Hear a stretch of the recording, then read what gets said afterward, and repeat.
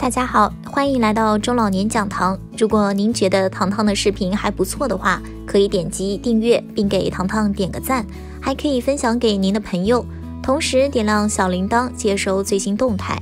您的支持是糖糖最大的动力。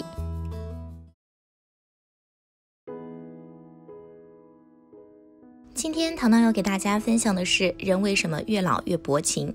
答案原来是这样：看一次哭一次。有些感情恰是无情最有情，人生就是一路遇见，一路再见。遇见了多少人，后来就要和多少人说再见，一个都不能少。有的人连再见都来不及说，就此一别，再无来日重逢。天下无不散之宴席。不管两个人的感情有多好，就是相伴一生的夫妻，都是一个人先走，一个人后走。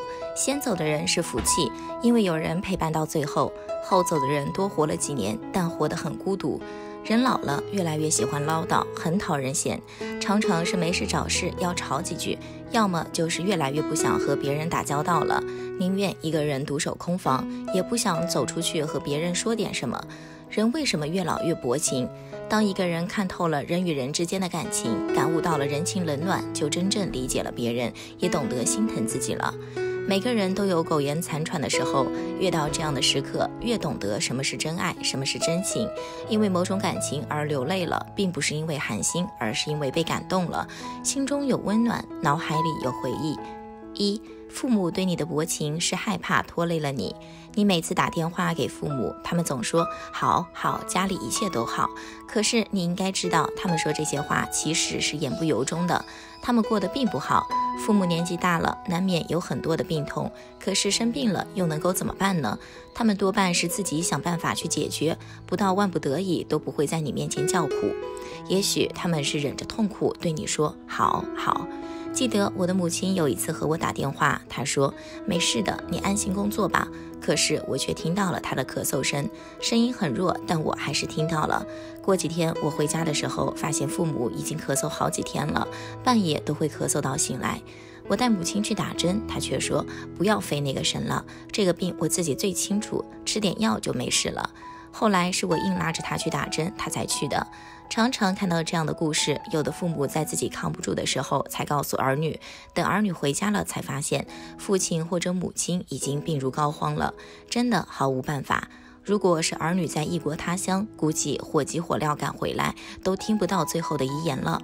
如果薄情的父母免去了和儿女的交流，却总是让儿女愧疚到流泪，逢年过节的时候，为什么父母会出来迎接你，却常常不会出门去送你？其实他们知道，也许就此一别，再无来日重逢。有时候，儿女和父母的见面，见一面少一面，生命都在做减法。父母不愿意非常热情地对待你，是怕家庭的感情拖累了你，或者怕感情也会令人失望。当你落魄的时候，父母总是会想方设法拿钱给你，希望你能够振作起来，可以东山再起。可是有一天，父母不再关心你的事业发展了，就是你很落魄了，他们也不会努力帮助你。这样的薄情，其实是他们已经毫无办法了，他们自身难保，捉襟见肘，又如何来帮助你？可是他们的心里依旧想着你，为你着急。当然，他们再也不会表现出来了，只是一味的沉默叹息。二。你对亲戚朋友越来越薄情，是因为你活得无依无靠。当你的年纪越来越大，你会发现自己越来越不想和别人打交道了，亲戚朋友的感情也慢慢疏远了。曾经一起吃吃喝喝的朋友，聊天的熟人，见不见面都没有关系了，就是见面了，也是简单的寒暄几句就离开了，根本就没有掏心窝子的话。年轻的时候，总以为朋友多了路好走，可是你后来发现，真的不是那么一回事。朋友多了只是麻烦多，社交的圈子大了，社交的时间多了，可是你落魄的时候需要借钱了。就看透了人心，懂得了如何交朋友。经历过很多会被人拒绝、被人嘲笑，你就会变得薄情。当你不想和别人交往了，你就不得不变成内心强大的人。你开始寻找自身的力量，把自己所有的潜能都激发出来。跌倒了，爬起来，继续走。痛苦的时候就含泪奔跑，被人算计的时候也是忍着，咬牙坚持下去，还要让自己冷静下来。多年以后，你变成了另外一个人，连自己都不敢相信自己真的有那么坚强。当你老了，回头看看自己走过的路，你一定会被自己的那份勇气、那种执着的精神所感动。你流泪了，是因为无依无靠太久了，习惯了坚强，习惯了拒绝和别人交往。三。当你老了，身边总有一些人慢慢离开，再也不见。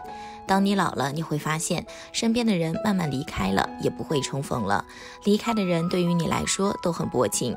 首先离开你的人是你的长辈，爷爷奶奶一辈的人，然后就是父母一辈的人。《百年孤独》里写道：“父母是隔在我们和死亡之间的帘子，你和死亡好像隔着什么在看，没有什么感受。你的父母挡在你们中间，等到你的父母过世了，你才会直面这些东西，不然你看到的死亡是很抽象的。”一个人越活越孤独，一方面是自己不想和别人交往了，放弃了无用的社交；一方面是至亲至爱的人越来越少了。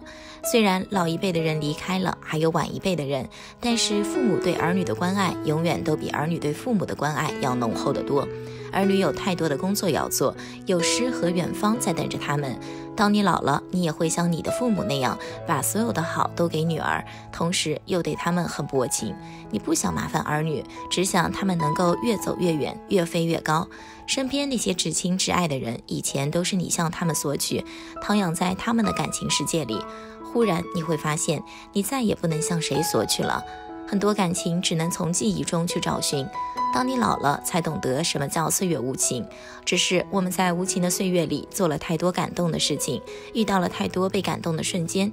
陪伴是最好的爱，可是谁能真正陪你到最后？你又有多少时间陪伴至亲至爱的人？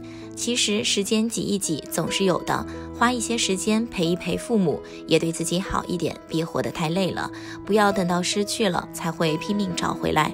最好的爱一旦失去了是找不回的，一转身就是一辈子。你能够找到的是泪流满面的自己。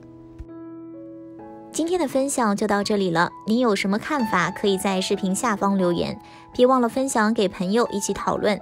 YouTube 和 Facebook 都能找到糖糖哦，期待看到您的关注与互动。